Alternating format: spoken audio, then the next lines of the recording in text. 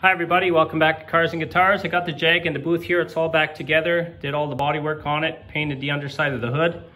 So I just finished spraying the high build polyester primer yesterday. And I used the pink stuff that goes on pink and sands gray. As you can see over here, then you don't need a guide coat. You just block sand it down, you can see your high and low spots.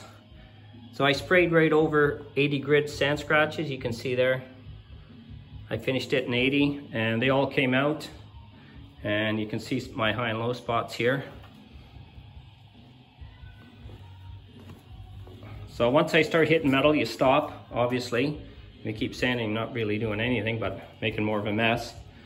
And when you spray uh, these high build polyester primers like that, you gotta make sure how you spray it. You gotta spray it really even. If not, uh, you can make your body work a bit bad. You'll have lumps in it if it's not sprayed even.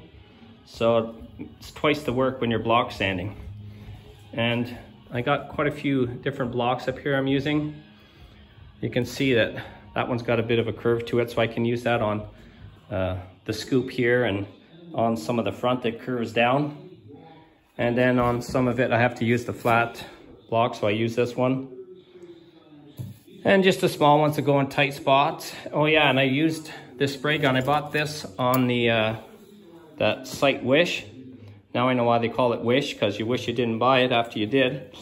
Uh, I put, I uh, mixed up that uh, high build polyester primer, and as soon as I poured it in the, the cup, it started leaking all over.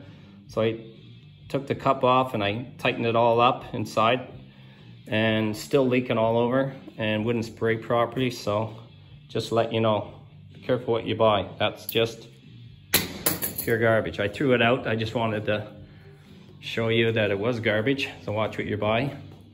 Anyways, I'll keep block sanding this down. And then I'm gonna put three coats of high build primer on it, block sand that down, and then I'm gonna paint the whole car. The rest of the car is already done and all sanded, ready for paint. I'll just have to tear it apart and remask it, obviously. But uh, yeah. Anyways, I wanted to show you too, actually, these sanding blocks. So you got to be careful when you are sanding because of the curve on this one here. Um, if you're sanding, if you can see here, it's lifted up a bit in the center. So what happens when you're block sanding, you end up digging in on each end of the block. So you got to be careful when you start sanding, especially where you have uh, the pink areas here, and you start block sanding, just take a look at where it's sanding and you can see that it digs in in spots. So you just have to be careful when you're pressing on it, put your hands over the whole block so it has pressure evenly over the whole thing. And that'll make it uh, easier for block sanding and a lot uh, nicer finish when you're done. You won't have little grooves in there. So just a little reminder if you're block sanding. So that's it for now. Thanks for watching Cars and Guitars. I'm John Bluin.